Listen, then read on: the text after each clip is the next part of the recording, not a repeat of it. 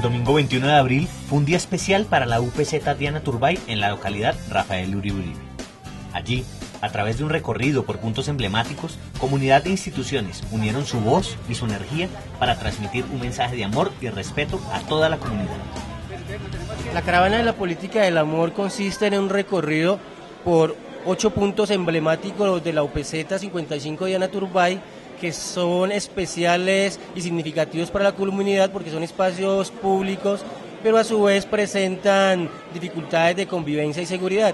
Entonces hemos pensado que a través de un dispositivo cultural, de obras artísticas, recreativas, deportivas, podamos incidir en el mejoramiento de la convivencia.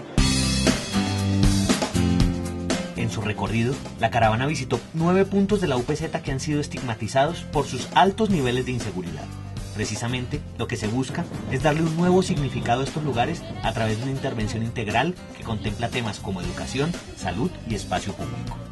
Esta caravana tiene bastantes puntos, puntos que tienen que ver con desarrollos culturales, desarrollos deportivos y además una serie de ofertas de carácter institucional que son importantes precisamente para generar esos espacios que necesitamos ir articulando entre las instituciones y las comunidades para mejorar los entornos.